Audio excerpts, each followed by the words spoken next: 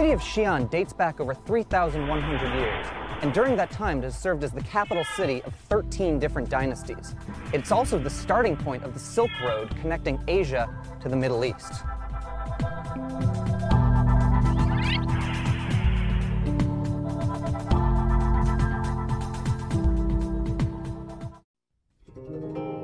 This morning we visited the royal tombs at Qianling. The site of Qianling is located in Qian County, which is some 53 miles northwest of Xi'an.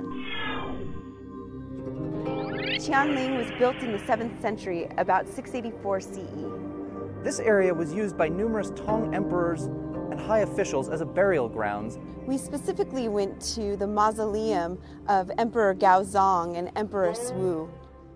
The site was originally commissioned by the third Tang emperor, Gaozong, who chose the site for its beauty as a tribute to his wife, Wu Zetian, who later became China's first and only female emperor.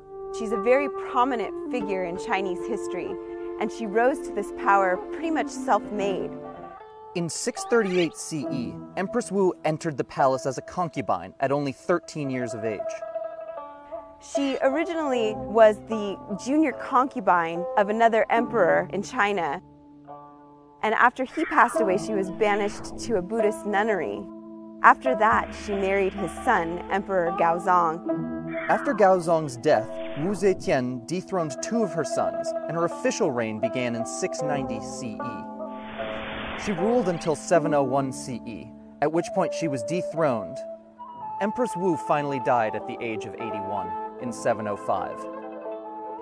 Under her reign, the Tang dynasty flourished, and a lot of the greatness that we see and all of the artifacts that we've been looking at come from the time that she ruled.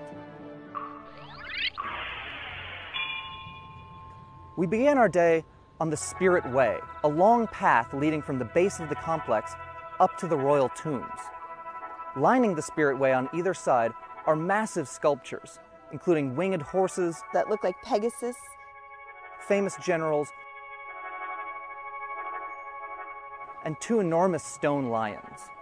Also along the path are two massive stone tablets.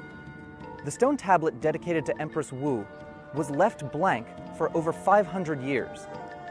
This was because there were no words at the time that she felt were sufficient to capture what she had done in her lifetime.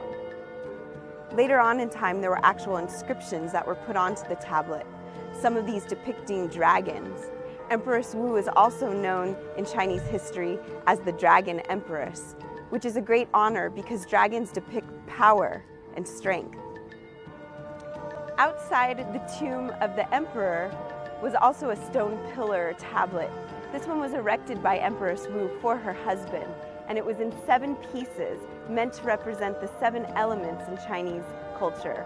Those being the sun, the moon, earth, fire, water, air, and metal.